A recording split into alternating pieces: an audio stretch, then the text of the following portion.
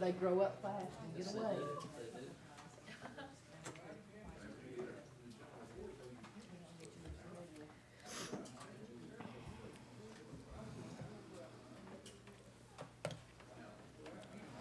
All right, friends, hope you enjoyed that lunch. That, that's my favorite. We have different, kind of go through some. Uh, but that's my favorite one. But, uh, Kim, we're glad you're here. Good to be here. Okay. So I guess about everybody's back. We'll go ahead and, uh, and get started. Kind of where I'm headed, so you'll know. Um, Want to talk a little bit about how I get prepared for um, thinking about and planning for Advent. And then, um, if you think it would be helpful, I can talk about how I uh, go through uh, preparing a sermon. I know that, that we're all preachers here and we have our, uh, our own ways of doing that. I, I would be happy to share a little bit, and, and you all might be able to find something in that that, that would be helpful. And then I think maybe the most helpful thing we could do is to um, to spend some time maybe sharing some best practices. Uh, there's only, uh, well, two of Rusty and I, and we can give you ideas, but I think probably we have a lot of good ideas to share here. So I provided for all of us the, the lectionary readings. Those are um, New Revised Standard Version, but those are the lectionary readings all in one place, so you, you've got that. And then I pulled out a, um, this is from United Methodist Discipleship. So that second piece you have is a part of the information that's there. And I believe I listed at the top of that that the website. Now, if you go to that website, you'll pull up about a 60 or 70 page document. And so it does a lot in talking about um, graphics and um, I I guess you know advertising your uh, your your series through Advent in the community. Uh, it talks a lot about hymns, and those were things that I wasn't going to try specifically to cover, but that information is is done in a beautiful way there. So I would certainly encourage you to that and. Um, and check it out. And then I have a couple other websites that I would just offer to us as as places that we can go. And then maybe some of you may have that uh, have that too. So um, I'm going to start with two stories that I like to be reminded of uh, in the Advent season that, kind of help me get my bearings before I do a lot of planning and preparation. Uh, and the first is I like to be reminded of Walmart. Um, on December 23rd at Walmart at about 7 o'clock in the morning. And I'm not sure what year it was, several years ago.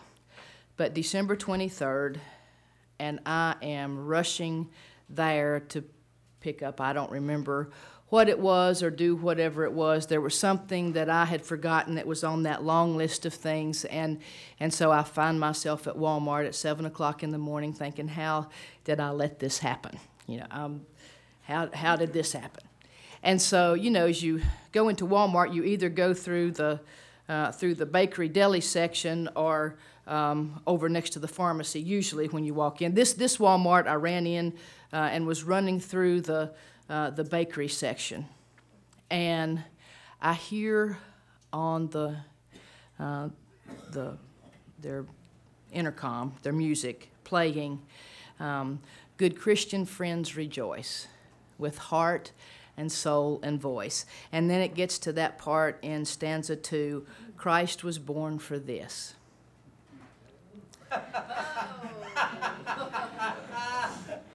and I'm in Walmart on December 23rd at 7 o'clock in the morning. Christ is born for this. And I'm looking around, and about the only people there at 7 in the morning, even on December 23rd, are the people who are restocking the shelves from all the folks who were there the day before, who were snatching and grabbing and rounding up things that they could. You know, they, they could put a little bit of paper on and stick a bow on it and call it gifting for Christmas and there, those workers were there and they were doing their thing. Christ is born for this. And I wanted to scream, No, no, Christ is n- not this, not this. But you know what? That's exactly what Christ is born for, right? And I just need to remind myself so when I'm, when I'm doing my Advent preparations, I think of the Walmart crowd me included in that, and everybody else who ever finds themselves at, at Walmart. Um, the people who are there who are trying their very best to figure out how to make this a wonderful holiday. Um, and they have in their mind the idea of what that is, and some of them will make it, and some of them will just fail miserably. And all of us who find ourselves to that place every now and again, um, that's, that's what Advent is about. That's who Christ is here for. Christ was born for this. And so I try to remind myself that Advent is one of those times of the year when people are looking for that hallmark version of happiness, whatever that might be. And there will be people who will be more likely to find themselves um, directed to our churches during that time. So I'm asking myself, what would be the messages that I could offer to people who may not be here? Um, all through the year, but who may wander in during Advent. It's one of those times that, that for us, it seems to me, would be um, an opportunity for us better than others to be able to reach out to, to the Walmart crowd, uh, that just some of them may find themselves in, in our congregations during Advent. So Christ is born uh, for December 23rd in the bakery section at 7 in the morning at Walmart, and for all the rest of us, um, and for all, well, that's who Christ is here for. And then the other story that I like to remind myself of um, in, prep, in preparing for Advent is one that I heard, and actually, um, it came from Garrison Keillor, and I hesitate to even say that because he had that, that fall from grace, but he did tell some really good stories. Um, and so this is one of those that, um, that probably if I were preaching this, I wouldn't say where it came from. Because, I mean, I'm, I'm serious about that. I wouldn't. Um, but this is a story that I heard a lot of years ago. And it was a story about a family that was gathering for the big Thanksgiving dinner. And you know how that is. All the food gets, gets I mean, it's just amazing the food that's there. And, and we want to, you know, we set it on the table. The mashed potatoes are steaming and the, uh, the biscuits are ready for the butter. And we want to have a blessing and then we want to dig in, right? And so at this particular family, there was a fellow by the name of Uncle John. And Uncle John was kind of the one who um, was the most religious of all. And so he usually got called on for the prayers, and the kids always hated it when Uncle John got called on because Uncle John prayed for everything and everybody. And so the children before that particular Thanksgiving were, were saying, Oh, I hope they don't call on Uncle John because you know, he just prays forever and ever and ever. And he always ends up crying in the middle of his prayer, and nobody wanted that, and the potatoes got cold. And, and so, sure enough, they called on Uncle John for the Thanksgiving prayer. And he did what Uncle John did. He prayed and he prayed and he prayed and he thanked God for everything from the first day of creation right up to the very present. And then and then he thanked God for sending his son Jesus into the world to die for our sins. And when he got to that to that part of talking about Jesus, Uncle John just kind of broke down. And probably off in the background there were some little snickers coming from the guys because they were just waiting for that to happen. Well, finally Uncle John finished. And they went through their dinner, and after it's all over with, the kids are all back together again. They said, I knew it. I knew it. He was going to pray forever, and the potatoes were going to be cold, and that's exactly what he did. And one of the other kids said, Ah, doesn't he know him? And he acts like he cries every year. He acts like he doesn't know that Jesus came and, and died for our sins. Doesn't he? He acts like he never heard it. And somebody said, Oh, yeah, he knows it. He knows it. He just never got over it. We've heard the Advent stories. We know them. We know what's supposed to what's supposed to happen. We know that we're going to on the first Sunday in Advent, we're going to talk about the second coming of Christ. We know there's a time when we're going to talk about John the Baptist. We know we're going to get to Mary and that journey to Bethlehem. And we're trying to figure out how to make it new, how to make it new, how to make it new. The first thing I have to do for myself is make sure I haven't gotten over it. Amen.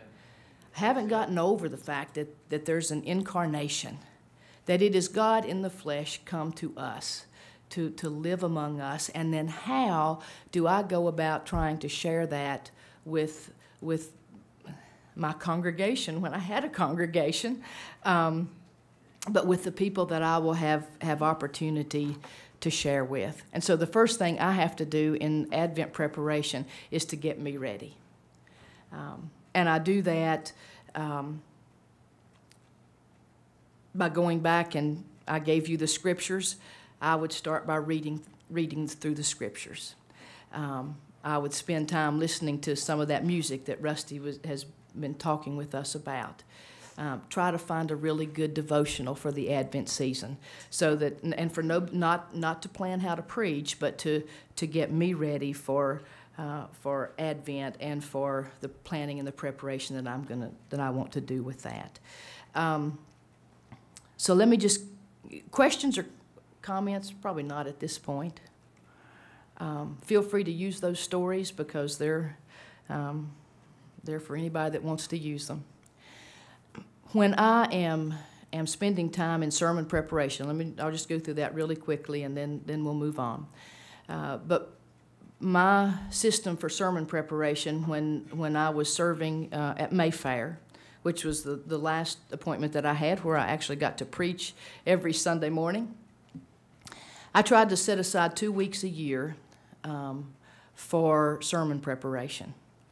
And, you know, one usually in the first part of the year and then about halfway through, but at two different times, um, and would try to take, if not a week, then several days. I didn't always manage to pull that off. Sometimes I could could manage to get two or three days in a, in a row when there wasn't a whole lot going on at the, the church, and so I would just kind of. Um, we, we were fortunate when I lived in Kingsport that we had our house in in Virginia, and so I would just go there and kind of, it would be a, a, retreat time for me to think and pray and look at our church calendar and figure out, you know, what the Sundays were and what the special times we had were, when we were going to do stewardship, do all, and so I would just, I would try to get my outlines then, and then would like for Advent and Lent, which for me and for all of us are pretty big, big chunks of our, our church year, and we want to get those right, uh, then I would try to spend time thinking about uh, what was that going to look like. Uh, for Advent, one question I had was, am I going to preach from the lectionary texts, or will I use a sermon series? So let me ask that question now. How many of you all are lectionary preachers? Okay, and how many are not? Okay, so we've, we've got a, a good, a, a good mix um, uh, of, of each. Uh, one of the things I found for the Advent and the Lenten seasons was if I was not planning to do the lectionary, uh, if I was going to do a series, I often found myself going back to some of the, the themes from the lectionary too. And I think that was, was very helpful for me. But I would, would try to decide if I was going to use an outline or if I was going to use um, the lectionary or if I was going to use a series. And once I did that, then I would start with the scripture, reading reading the scripture for each of those weeks. If it's if it's the lectionary reading, that's simple. Uh, if I'm looking at a, a, a sermon series, then I'm gathering the scriptures for that uh, particular sermon. And once I get that, I just read the scripture and then try to let it sit. Um, ask myself what are the things that, that jumped out at me in the very first reading of this? Were there themes that popped out? Was there something in this passage of Scripture that surprised me that I wasn't expecting? Um, was there something I noticed this time reading through that I hadn't read before? And then I would, I would just kind of let that sit for a while. And then the next thing I would want to do is to, to go to any commentaries uh, that I had. Or um, if I'm doing one of my favorite sermon series to preach is a, a sermon series about different uh, people. So for Advent, I would do um, Faces at the Manger, some of the main characters. I, I, I just love to take a person and kind of try to get into to their thought processes and what it maybe was like for them. And so if I'm doing something like that, I would look at uh, whatever I could find in the way of biography or maybe what fiction writers had said about that particular person, but just dig up those extra biblical sources, whatever they are. Spend time with that, and then again ask myself, so what's surprising me in that in this? Uh, if I'm looking at the commentaries, what are the commentaries saying to me that I did not expect? And I have Richard Lischer, who was my preaching professor at Duke. I have his words running over and over in, in my head always, and that is let the scripture speak. We don't have the privilege of being able to um, make the scripture say what we think it ought to say. Uh, but to honestly look at that passage and say, what is that, what is that passage of scripture saying um, to me? What, what do commentators say that it, that it's saying? Um, are there things in that that, that surprise me? And, and from that, I'll just I'll take I'll take notes from the commentaries and uh, from the sources that I'm using. Take notes, and again, I'll just let it sit. And for me, the the my favorite part of of sermon preparation is what I would call pondering and stewing. And that's what I do. After I've taken those notes, I'll go over them, and, then I'll just spend as much time as I have until Sunday, um, asking what so how is that all kind of working itself out? And then a couple days ahead, um, I would sit down and, and write out the sermon. I'm not a manuscript preacher, so I would I would often just say, okay, I'm going to use this story here. I'm going to use, or this is what I'm going to. If I'm talking about Mary and how she was, um, you know how how she was um, her response to, to the angel, then I'll just I'll make a few notes about that. But I, I don't generally preach from a manuscript, um, which allowed me to wait a little bit later to finish my sermon. And then, and I'm not sure I would recommend this for, for anybody, but I usually finish my sermons on Sunday morning. Um, I would go over it one more time. I mean, I had my outline, and, and I knew if nothing came on Sunday morning or if something happened and I had no time, I, I could go and preach that sermon.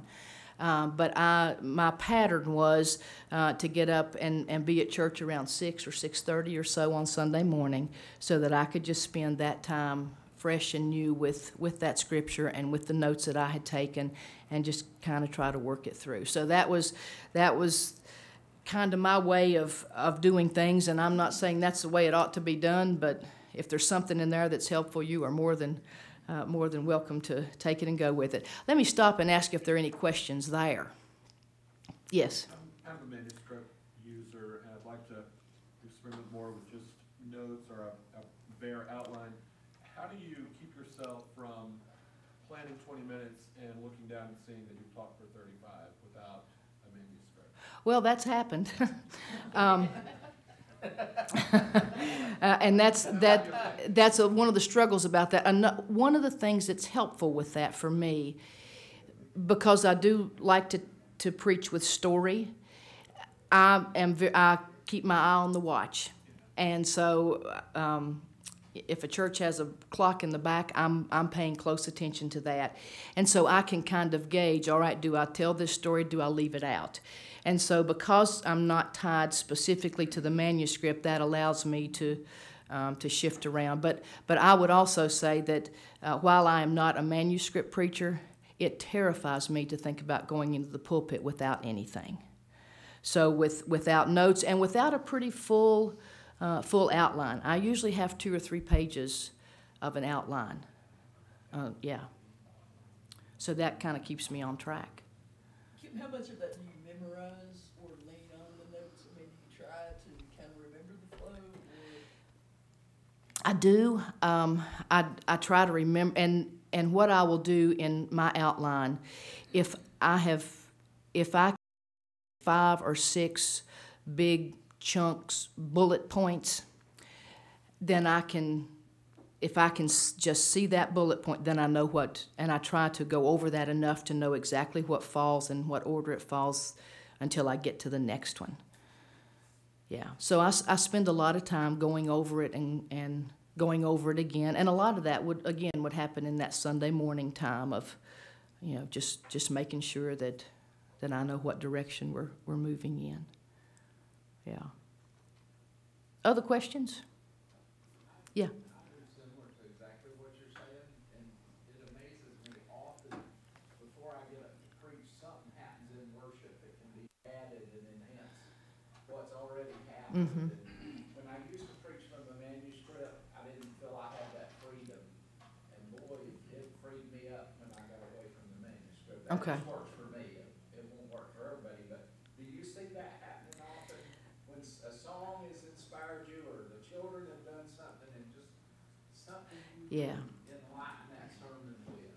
Yeah, he's asking about adding things in, inserting it from, from the, the flow of the worship that morning. And yes, I have, uh, I- have often found that, and sometimes I can just, you know, make an arrow where I think it might work in, you know, in the sermon, and I just kind of make a mental note that I'm going to have to adjust timing a little bit.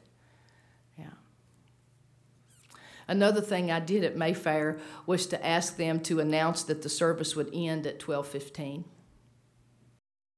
And the reason for that is, you know, we, we had several, you know, there, there were often times if we, we had different people who did the children's sermon, and Ralph will know this, we had people who, who would do the children's sermon and it would last, you know, way longer. And I'm trying to think, what do I cut out of my, of my sermon? And then I had people complaining because the sermon was 10 minutes long.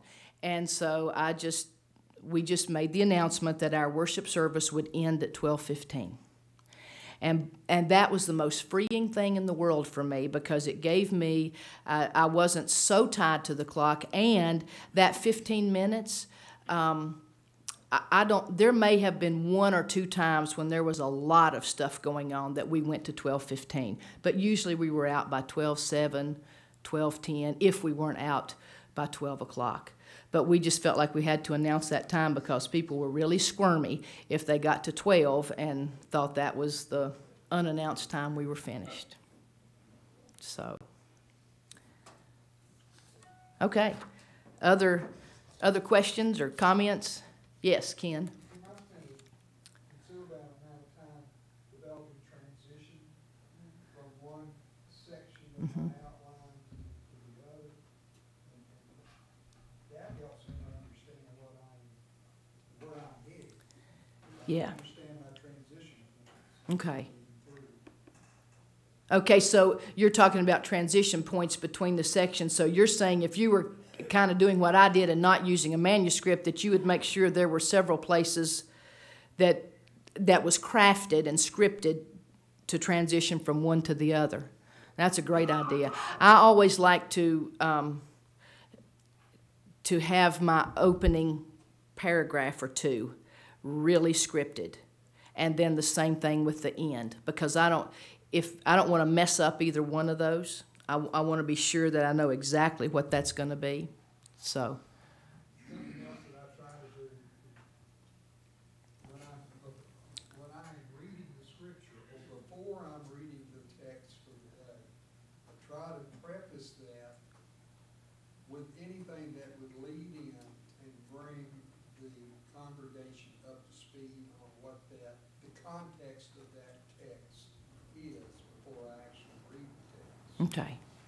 Yeah. Yeah, I think that's very helpful. That's, and if you don't do it in the, when you're reading the scripture to bring in the context and, and I will spend a lot of time set, because I have found whole sermons in the context.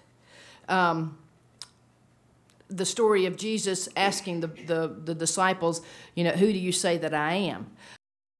Know that that happened at Caesarea Philippi, and to know that Caesarea Philippi was a place where any number of gods were worshipped. I mean, that that changes that whole thing. Now, that's not an Advent thing, but it was the first one that I. But you're you're right. So context is, yeah. You I mean, you can get a whole sermon just out of out of the place and the timing of of when things occurred. Yep. Okay. Other questions? Yes. Uh, I haven't been a pastor a long time, I've only been, so I'm in my fourth year. I, I was one of those, uh, servants that came late, and, uh, but, uh, one of my pastors was Spurgeon McCart for eight years, and he said many a time, he says, I've never finished a sermon. I didn't really understand that until I started preparing a sermon every week. And there's so many things that you want to say that you don't say. Right. Yeah. And And- I think everybody in the room probably understands that, but I didn't until I became a pastor. Yeah.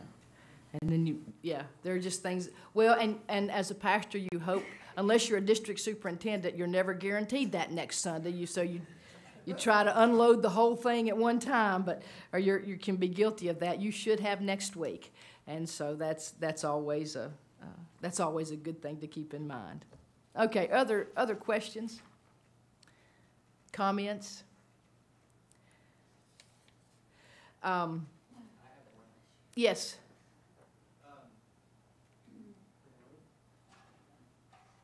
There's been times, I don't have a lot of experience actually uh, preaching from the pulpit, so uh, I guess I'll use the example of other, other ministers that I've witnessed preaching God's word. Uh, They start out with uh, scripture and they end with uh, a really good message right at the end. And from point A to point B, uh, it seems like a flowing story and you're sitting there right along with them the whole time and you're just like dumbfounded when you leave, like, oh my gosh, that was awesome.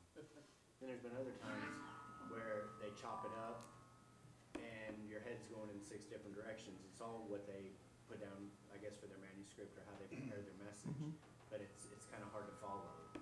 Um, and uh, the, the few times that I've had the experience of actually getting up and delivering God's word, I find myself being nervous and, and kind of wanting to read what I've wrote, even though I prepared all week or, or I know uh, the material that I put down and how important it is to get it out an orderly fashion. Uh, what's one good way that we can get away from that? From, you mean from doing the, Delivering a, a good, solid message, the, the, the continuation without breaking it up and reverting back to what you wrote. pray. Some Sundays you get it, and sometimes some Sundays you don't. And I, I would think another piece of that is um, to to figure out what your your preaching style is, and play to your strengths. For instance, um, I am more of a storyteller. So, so what I loved, what I love to be able to do with Scripture, is to take a Scripture, and and just unwind and unravel and kind of tease out that Scripture through, and then come to the after having done that, um, to say, okay, what does this mean? You know, so how how do what does this mean for us here and now? What what's our take home from this? What what's Jesus trying to say to us if he's the main character in this, or or what lessons do we learn from these people, or what's Paul's message here? Um, that's my favorite way to preach. I find it very difficult, and I'm more likely going to end up with one of those those sermons that for me feels kind of disconnected. If I try to to take a passage of scripture and talk about that, and then okay, now, and here are the here's point A, and then talk a little bit more, and here's point B and point C. Some people do that wonderfully well. Jim, my husband, that's how he preaches, and and I've tried to to preach a sermon like that and it just for me it feels like it falls flat. And and he does the storytelling stuff sometimes and and that's that's just not his gift. So i would say find and i know you haven't been doing this a long time but try to find what is most comfortable for you. And then when i preach those sermons and i cannot wait to get to the end of it because i feel like i could not be struggling anymore if i was reaching in and pulling every word out to to make it fit when I when and when I can finally say, okay, that's it. Now let's sing the closing hymn, Hallelujah. Um, and all through the closing hymn, I'm saying, God, I am so sorry for that. I promise I will do better the next time. I just I am I just blew that. And maybe it's because I was doing something I wasn't comfortable with. I don't think there has ever been a time in 30 plus years of ministry after I had one of those horrible episodes in the pulpit that I didn't have opportunity to speak to people after the service and somebody says to me, "Boy, that was what I needed to hear today." And I just take that as a reminder I'm not in charge here. Um, that, that that's, that's when God gets to do what, what God wants to do. And maybe He just needed to push me out of the way and get my ego out of the way enough to be able to, to say that. So even when we think we've done our worst, that would be my encouragement to us. Sometimes for somebody, that may have been when we when we, we hit the home run that they needed to, or we allowed we allowed God to speak through us in the way they needed to hear. So, yes. I'm really new at this, but um, I've had some really good teachers. Um, and one of the person advised me to do my, when you read your, s- your scripture, develop your idea and your end statement first. Okay. So, and then do your beginning statement, and then begin to build on it from there. And that way, you go from point A to point B, and your end statement winds up where you're trying to focus people. He also said to keep it really simple, Yeah. and I think that was really good advice, Yeah. um, from, from somebody that's done it much longer than I have. Mm-hmm. Yep. Yep. I don't know, maybe I'm the only one, but I don't have wonderful stories to go along with my message. And, uh, as I learned, I don't have a lot of like experience with theologians and different people's perspective on scripture. So, like in my head as I visualize, like, I've been sitting in service and I'll say, what would I preach on if this was my opportunity to get up in front of the church? How would I do it? And, uh, and there's been twenty times out of twenty that I'll say, wow, that caught me completely off guard, because I wouldn't have taken that direction. Yeah. Um, but the lack of experience and the, uh, for example, uh, our most recent DS, uh, Reverend Maynard, uh, I went to an annual con- uh, church conference, uh, a charge conference, excuse me, two years ago, and I felt like I was being fed the fishes and loaves. Mm-hmm. He told that story so wonderfully, and I'm sitting there going, wow, that was spectacular. I don't know if you've ever heard that message of his. Um, and I, I don't think, I, feel like I would mess it up. And it kind of makes me nervous, and that's why I Yeah. revert, reverted back to reading what I wrote, because I felt confident when I was writing it. Um, thank you. Yeah. Yes, I have heard that sermon. He preached it at Page's Meeting House, and, and you're right. It, and he just told the story, unwound it. But it, that was the way he told it, and I would tell it differently, and so do you. And isn't it amazing that, that, that God can honor all of that? And yeah. Um, I see question Amy, and then I think there was a question back here. Okay. I think the best way to manage going over time is to go back to the traditional order of worship in front of the hymnal that puts the sermon early so the choir director gets in trouble. Okay.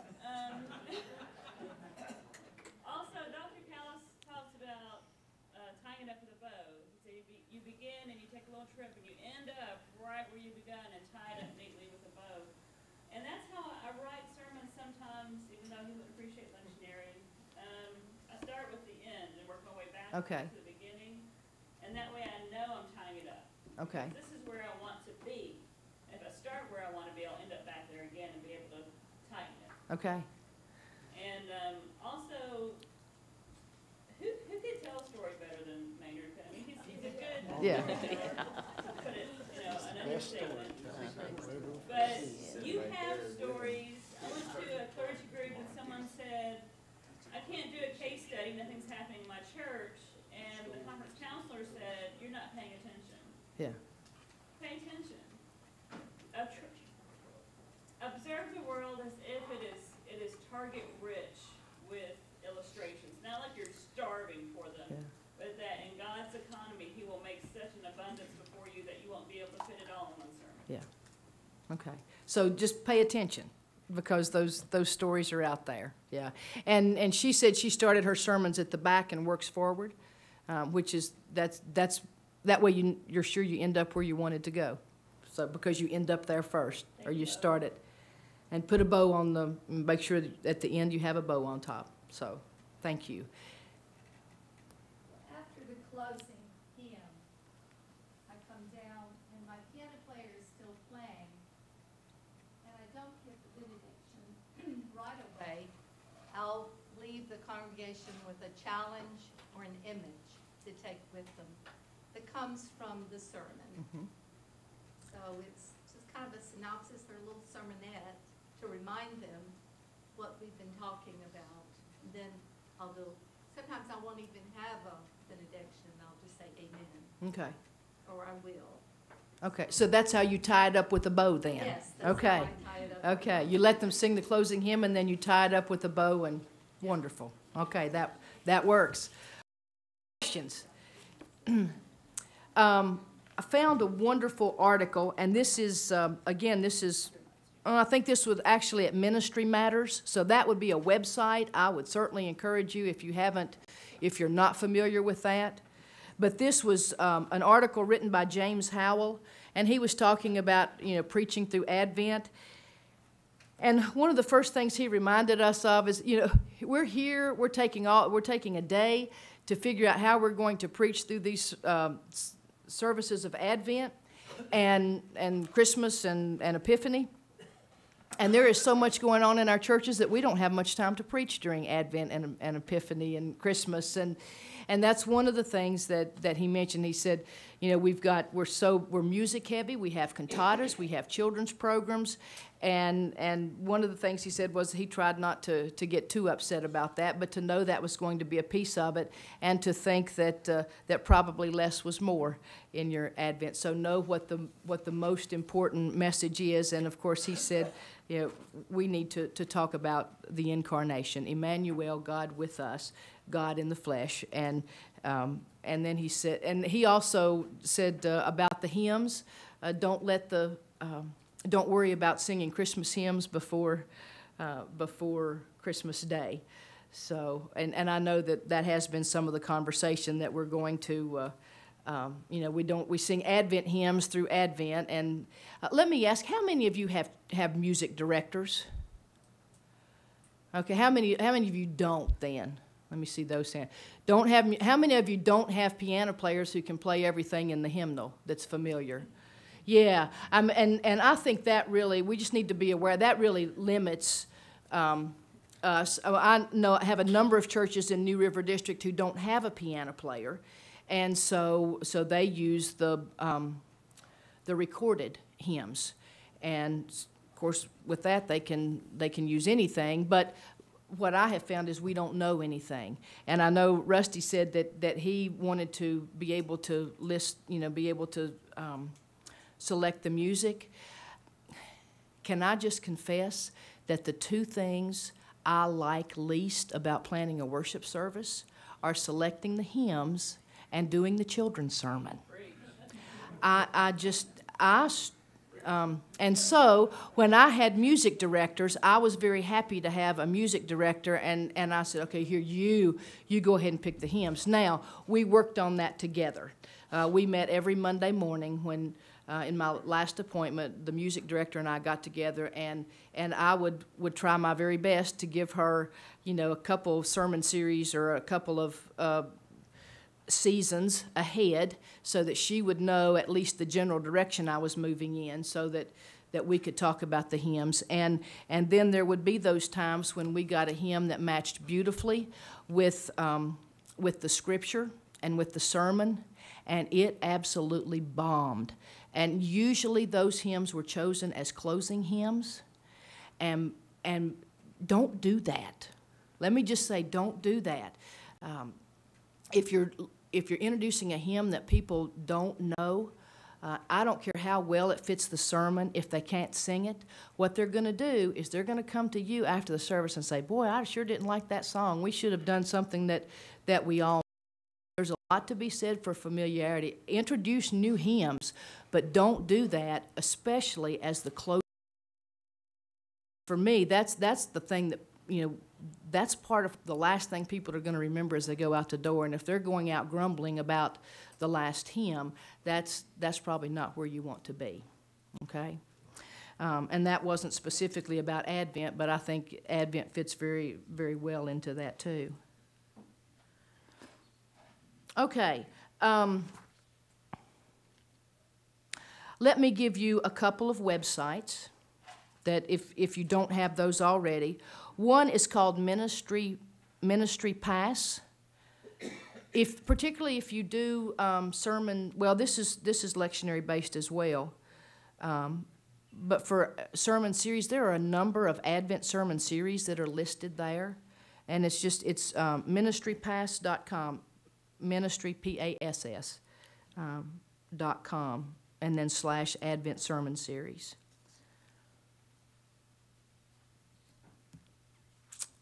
And then I spent um, a good bit of time looking at the Wesleyan Church website, which is not something that I normally spend a lot of time there, but uh, they had a number of resources for Advent planning and uh, lectionary and sermon series.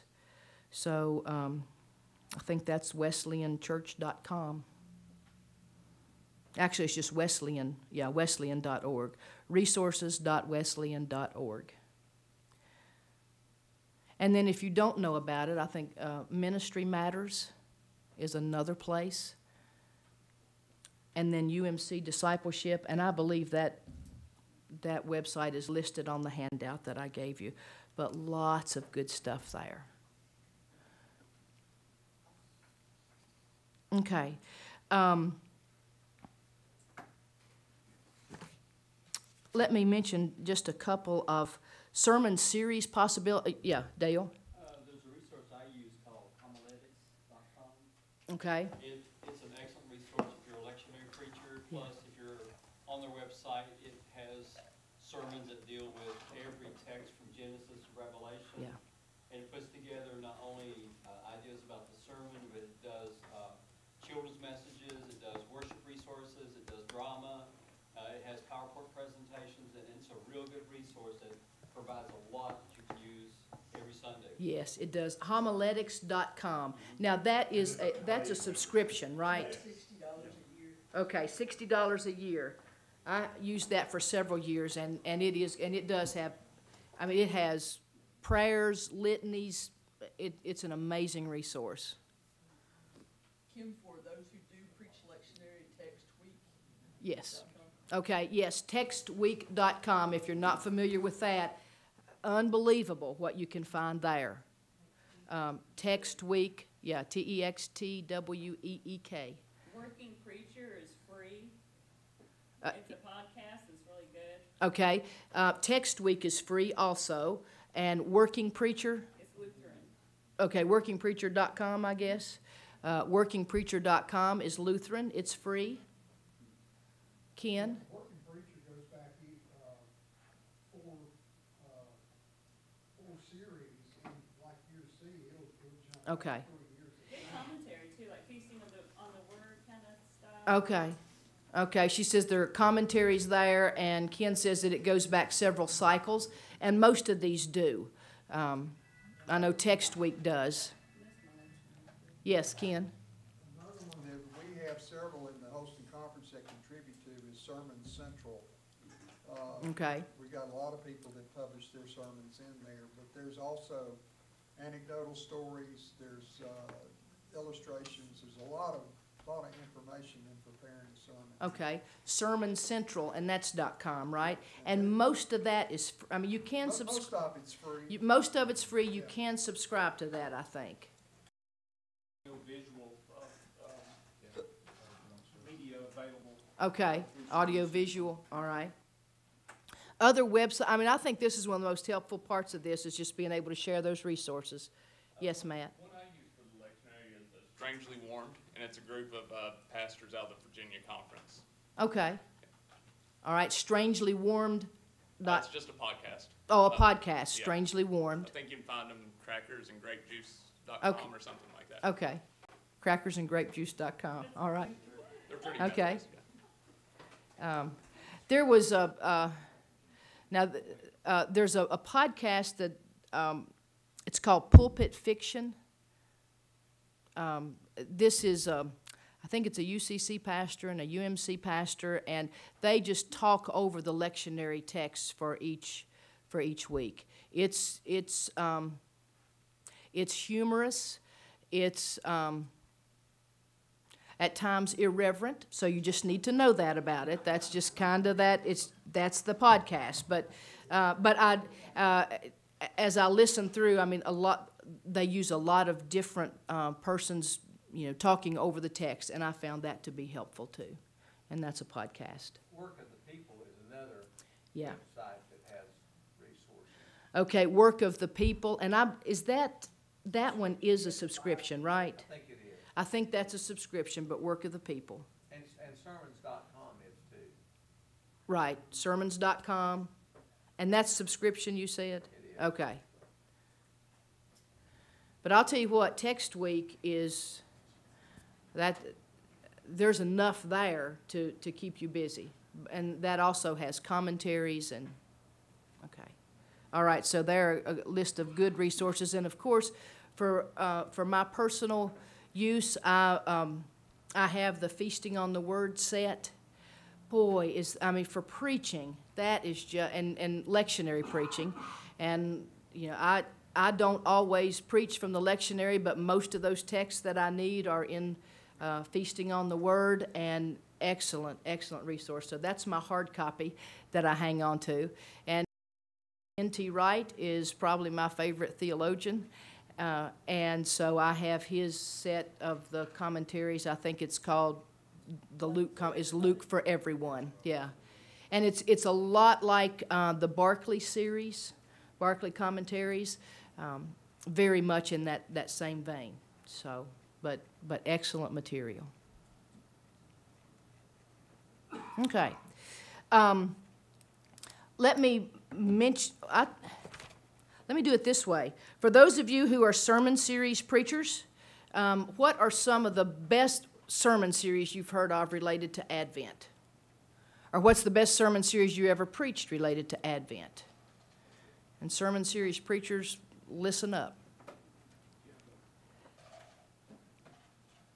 I, probably one of the best series I ever did, I, with Advent, I usually try to do series, and I did, of course, this wasn't lectionary, but, uh, I did the four people of Advent, and Okay. Zechariah, Elizabeth, Mary, and, and Joseph. And Okay. was a great series of just looking at these people, their, you know, what would be going on in their lives, what's Okay. the issues going on, and how that relates to, you know, the Christmas story in our lives, and that was a powerful series I did a few years ago. Okay, so people of, of the story, all right. And I did the same thing and called it Faces at the Manger, um, and have done that with the prophets too, and did a series just on the, the voices of the prophets. Yes, We did a very similar series, uh, associate and I, we would dress up the character and actually have dialogue about Okay. what was going on in that story. okay. So first-person dialogue, um, which I did that once, and let me say to our female clergy, um, Advent is a wonderful time for us to get to do dramatic monologues too, because there are a lot of good uh, women characters that, that you can um, can do. So, um, I mean, if you, one sermon series that I have, have not done but heard of, the title of it was "She Shouldn't Be Here," and it talked about the women in the genealogy of Jesus. So Rahab and Ruth, and uh, and then also talked about some of the the other women, Mary in the the story, and of course then you've got Anna and and Elizabeth as well. So um, so that's a good opportunity for uh, for female clergy if if the, if you want to do the dramatic monologue kind of thing. Yes. I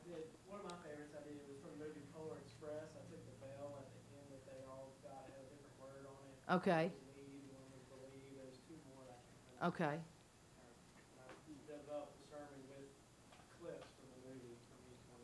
Okay.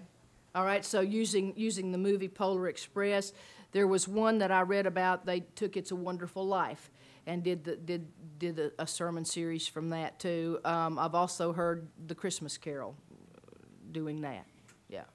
So, pieces. The other sermon series that were just wonderful,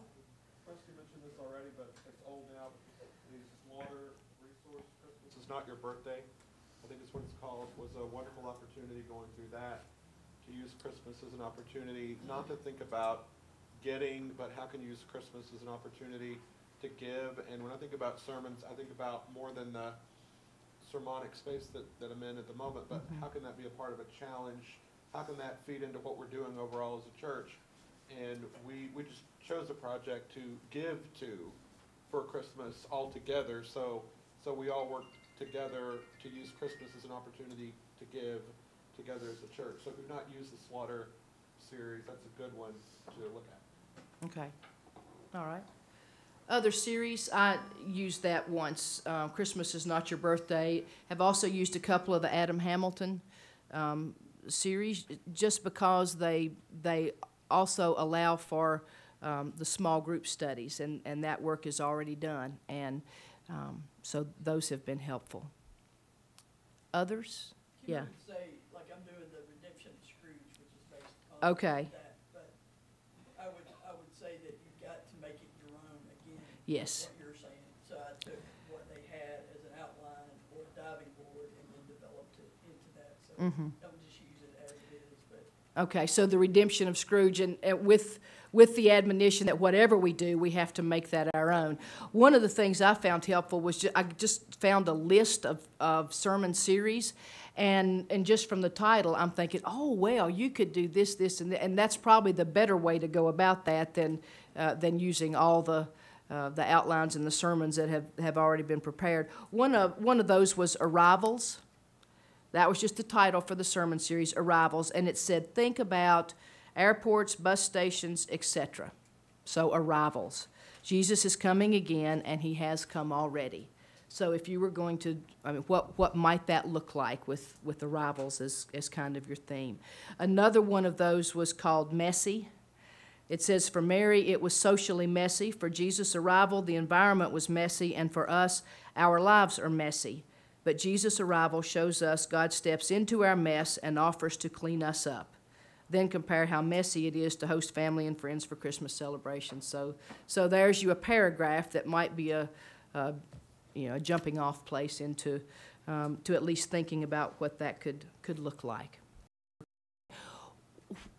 So what I want to do now is um, I want to ask you um, because I, I think what would be helpful for us, you, and you tell me, what I would like for us to do is take the scriptures that, that I gave to you and let you divide up in, in some, into some groups. Would that work?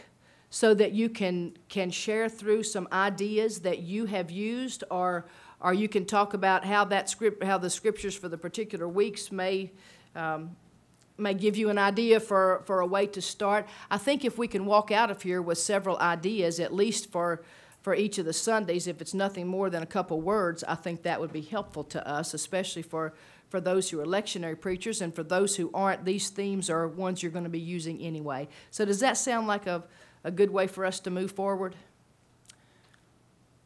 Yes, no? Yeah, okay, okay. So, um, let's see, we, in these readings, we have the four Sundays of, of Advent and Christmas Eve, so, and then we also have Epiphany. So we could divide up into six groups. Um, does that sound good? Two, one, two, three, four. Let's do five, how's that? And we won't do Epiphany. Does that sound all right? Okay, so I need you all to, and you might just want to slide tables together, and let's spend, it's, it's ten after one, could we spend thirty minutes or so with that? Um, and, and once you get divided, I'll assign, I'll assign you a week. How would that be? One of the, one of the Advent weeks, and I want you to come up with your best, your best work on that, and then we can, can share that together as a group, okay? Start moving. However, I need five groups, and maybe just to, to jam a few tables together.